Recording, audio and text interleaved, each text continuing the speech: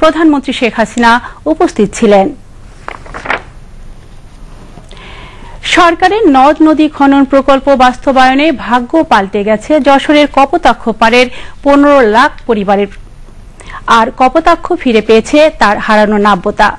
যশোর প্রতিনিধি মোহাম্মদ ওয়াবুজ্জামানের তথ্য ও ভিডিও চিত্র নিয়ে দেখুন আফরিন জাহানের ডেস্ক রিপোর্ট। মহাকবি মাইকেল মধুসূদন দত্তের বিখ্যাত সনেট কবিতা কপতক্ষ নদ।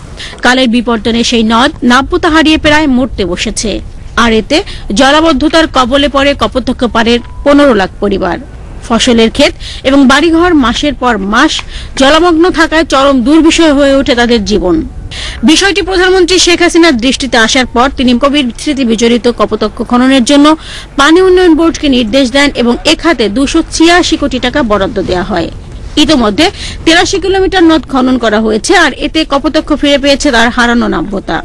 ইতিমধ্যে এই প্রকল্পের প্রায় নব্বই ভাগ কাজ সমাপ্ত হয়েছে।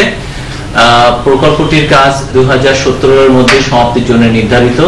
তো এই প্রকল্প সম্পূর্ণভাবে বাস্তবায়িত হলে এই বৃহৎ জনপদের জলাবদ্ধতার সমস্যা যেমন নিরসন হবে নদীর নাব্যতা বেড়ে যাবে নিষ্কাশন ক্ষমতা বেড়ে যাবে কৃষি এবং মৎস্য উৎপাদনও বেড়ে যাবে।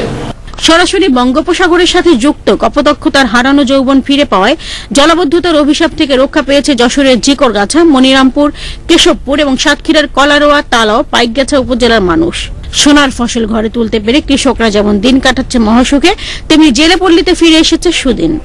জলাবদ্ধতা অবস্থায় ছিলাম ব্যাপক ক্ষয়ক্ষতি হতো আমাদের চলাফেরা করতে পারতাম না এতে আমরা খুব খুশি মানে খুব উপকারে যে এই অঞ্চলে নদীর পাশে যত লোক ছিল সব বেঁচে গেছে সবাই। কপোতক্ষ পাড়ের কৃষক জেলে সহ সকল শ্রেণি পেশার মানুষ বলছেন তাদের দুঃখ দুর্দশা লাঘবে। বঙ্গবন্ধু তনয়া শেখ হাসিনার অবদান আজীবন মনে রাখবেন তারা। একই সাথে কপোতক্ষ আর কখনো যাতে নাব্যতা না হারায় সে ব্যাপারে সংশ্লিষ্টদের প্রতি দাবি জানান। আফরিন জাহান বাংলাদেশ টেলিভিশন। এবারে কৃষি সংবাদ।